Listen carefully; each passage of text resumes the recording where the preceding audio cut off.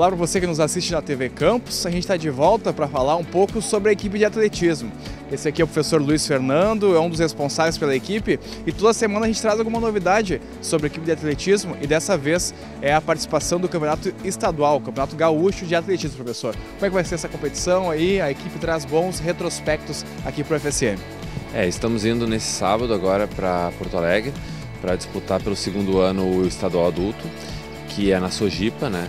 Eh, é um campeonato bastante difícil, a gente vai ter os principais atletas do Rio Grande do Sul, em especial os atletas da Sojipa e da região metropolitana, de outras agremiações.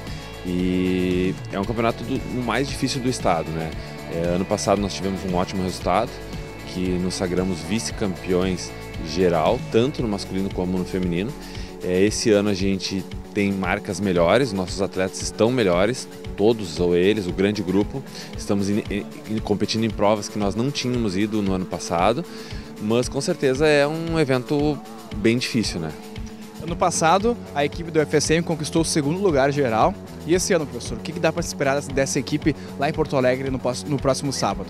Bem, a gente vai buscar muitas muitos resultados individuais bons, a ideia é essa.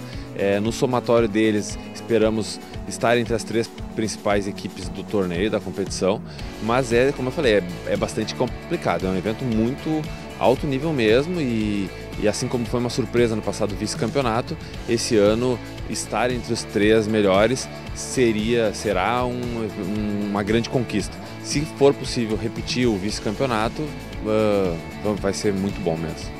Beleza, esse aqui tem o professor Luiz Fernando. Se você quer saber um pouco mais sobre a equipe de atletismo, a gente vai deixar na descrição do vídeo aqui a matéria que a gente fez ainda no ano passado, falando um pouco mais aí, é, explorando bastante esse, a equipe de atletismo aqui do UFC. Obrigado, professor. Obrigado, eu agradeço o espaço.